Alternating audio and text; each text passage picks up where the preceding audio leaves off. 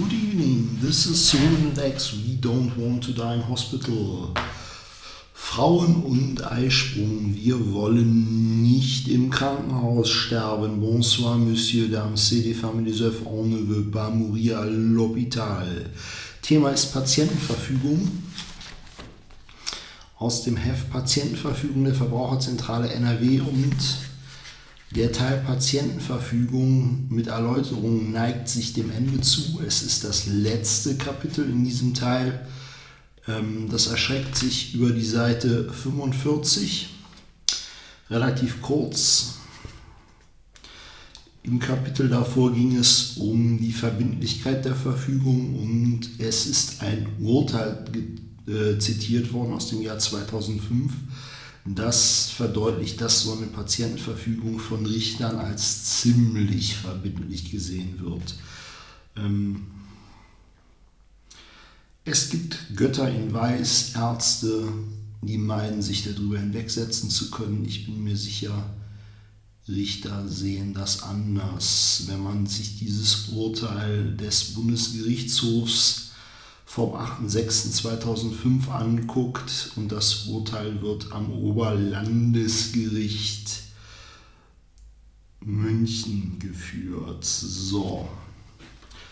Ähm, Aufbewahrung und Hinterlegung. Es gibt einen Tipp. Da kaum jemand seine Patientenverfügung ständig bei sich tragen kann, empfiehlt es sich bei den persönlichen Unterlagen, zum Beispiel Führerschein und Personalausweis, eine Karte mit dem Hinweis auf die Patientenverfügung aufzubewahren. Hierauf sollte der Fundort oder eine Kontaktperson benannt werden. Okay, so. Aufbewahrung und Hinterlegung.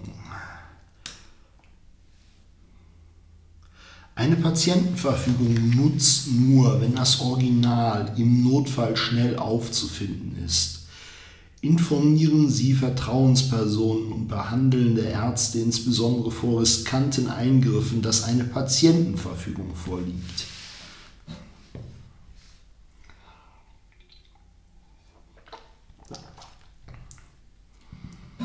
Sie können Ihrem behandelnden Arzt auch eine Kopie der Verfügung geben, mit der Bitte, diese bei Ihren Krankenunterlagen, äh, Krankenunterlagen zu verwahren. Mit manchen Musterdrucken ist die Möglichkeit verbunden, die Patientenverfügung gegen Gebühr an einer zentralen Stelle zu hinterlegen. Ähm, vor diesem Musterdrucken wurde in dem Heft hier schon gewarnt. Ich weiß nicht, warum der Hinweis da wiederkommt. Ich unterstreiche es mal und mache ein Fragezeichen da dran. Ich finde, man sollte dann da auch nicht mehr darauf hinweisen, wenn man das nicht gut hält. Deshalb mag ich dieses Buch auch nicht.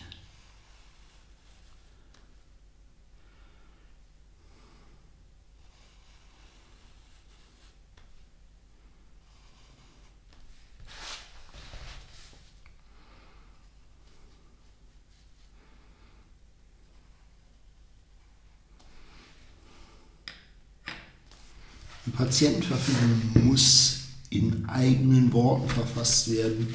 Man muss nicht geschäftsfähig sein, sondern einwilligungsfähig. So.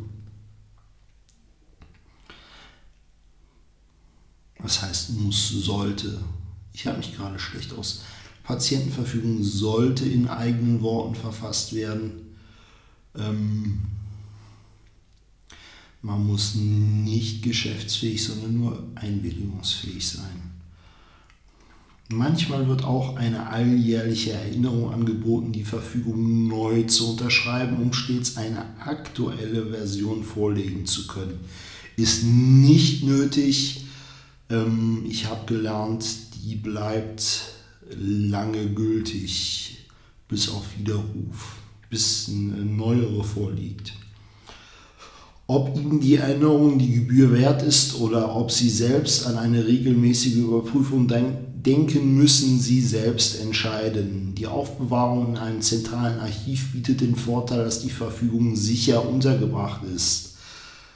Allerdings sollten Sie sich vergewissern, ob das Original der Verfügung bei Bedarf auch am Wochenende oder an Feiertagen innerhalb von 24 Stunden beim behandelnden Arzt oder einem Bevollmächtigten vorgelegt werden kann und wie das entsprechende Verfahren abläuft.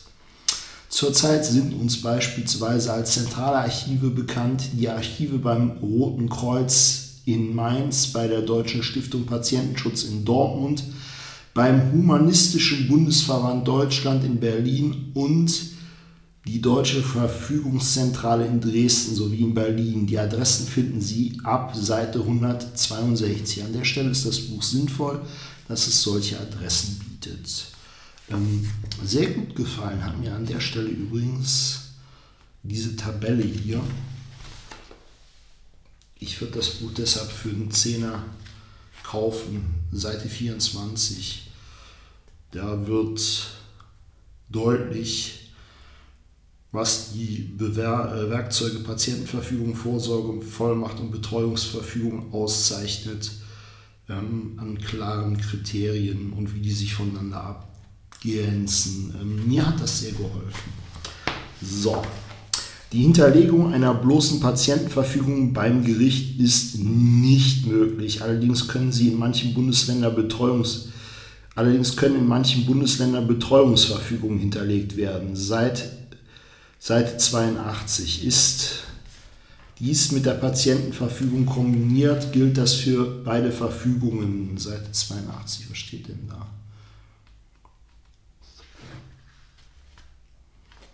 Das ist äh, Betreuungsverfügung, Aufbewahrung und Hinterlegung.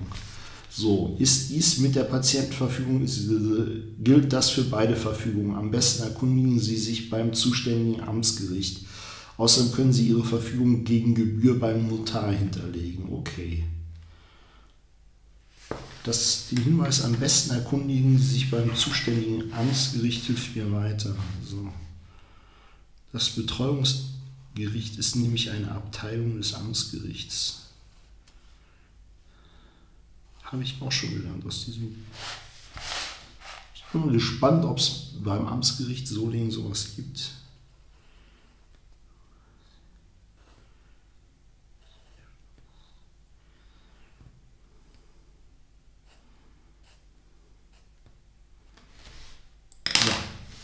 Das war's aus diesem Buch erstmal. Ich habe angefangen, die Fragen im Vorsorgehandbuch zu beantworten, damit im Zweifelsfall mein mutmaßlicher Wille ähm, ermittelt werden kann. Die stehen hier ab der Seite F3, F3 bis F8. Habe ich bisher abgepinnt. Ich habe noch nicht viele beantwortet. Ich bin da momentan zu faul zu. Ich komme auch nicht zu. Ähm, ja. Ich bin arbeitssuchend und das belastet ein wenig. Wollen wir es so ausdrücken. Äh, ja. Ist mit Gerichtstermin äh, verbunden beim Arbeitsgericht muss ich vorbereiten. Ich bin danach immer müde. So, tschüss.